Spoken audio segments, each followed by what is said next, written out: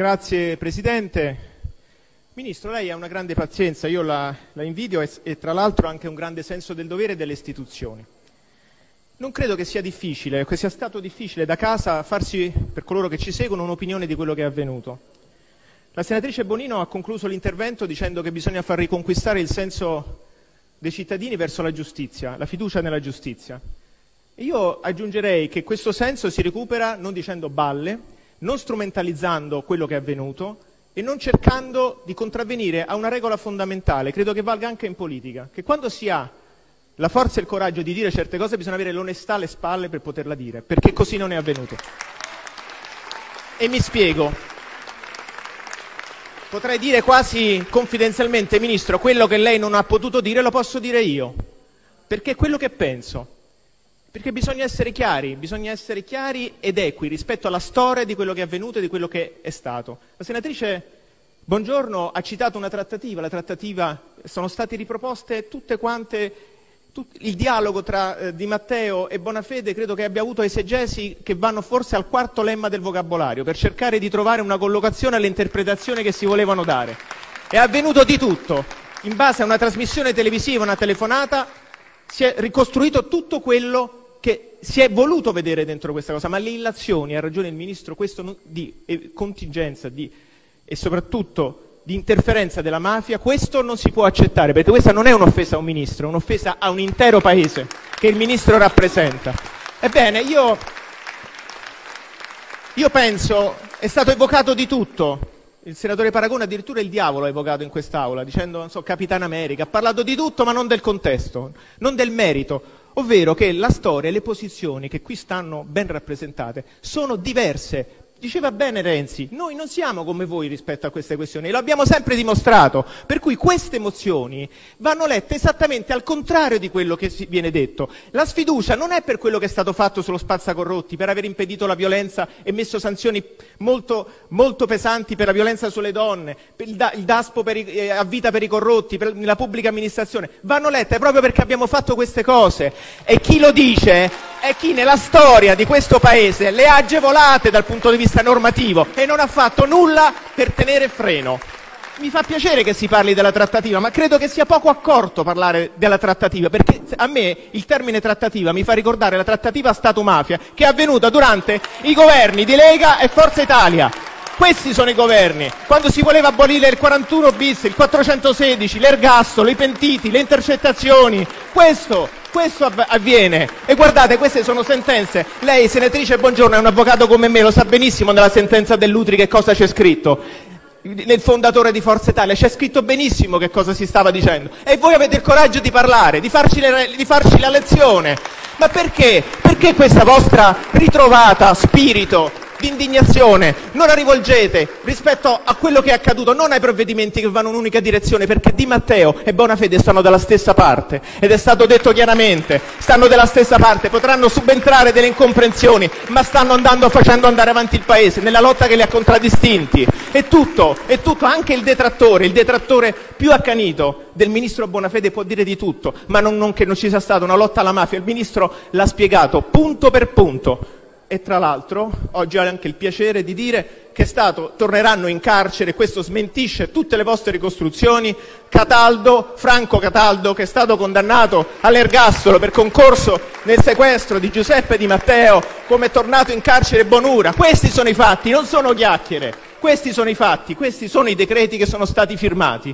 Poi tra l'altro si accusa, si accusa il ministro Bonafede, io non so se qualcuno di voi ha letto dei firmatari veramente queste eh, mozioni.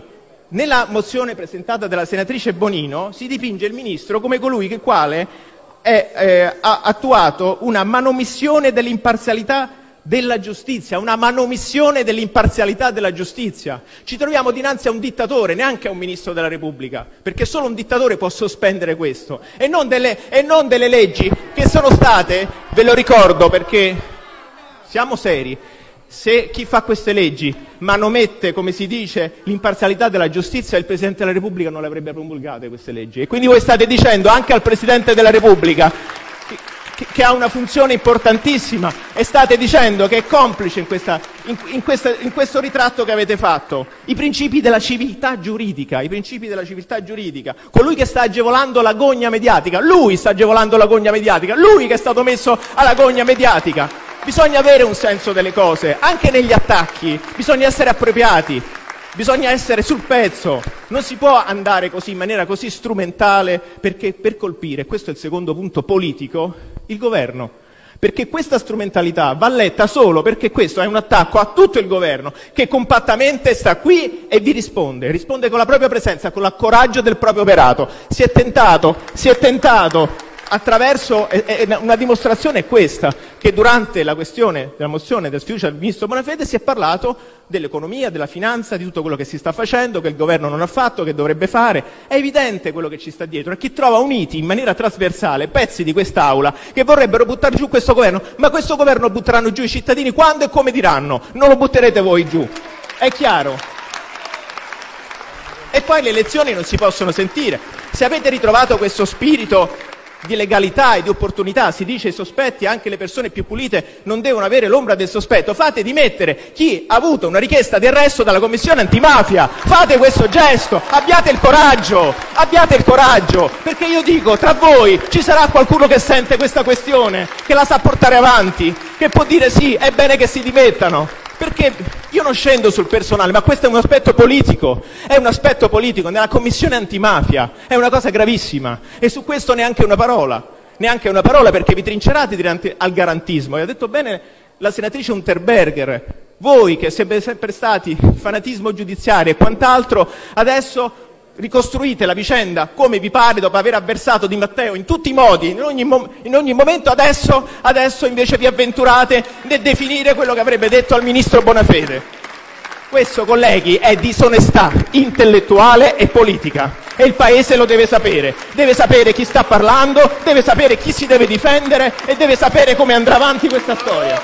E noi faremo di tutto, Ministro, per darle sostegno, per far sì che le numerose leggi, perché vedete, parleranno le leggi, questo è vero. Tanto quest'Aula farà questa giornata, saranno, c'è stato questo dibattito, ma le leggi rimarranno, salvo che qualcuno, come è già accaduto, non tenterà di ricancellare come avete fatto col finanziamento dei partiti. E anche la Lega, la Lega, ha il coraggio di parlare anche la Lega, desse spiegazioni sui 49 milioni di euro che, che, che, che i cittadini italiani vogliono sapere. De, date delle spiegazioni sull'emendamento a rata, date delle spiegazioni a come avete condotto questi governi con Forza Italia, quando avete abolito e cercato di abolire tutte le leggi che cercavano disperatamente i magistrati antimafia di portare avanti. Avete fatto un bel connubio, una grande alleanza. Su questo però non dite una parola. Senatore Salvini, lei non dice nulla su questo. Questa è la realtà. La realtà è solo unica, che il ministro Bonafede ha il diritto, se non altro, di essere rispettato e queste illazioni non fanno solo male a un ministro, fanno male a un paese, a tutti coloro i quali si vedono rappresentati in questo governo. Grazie.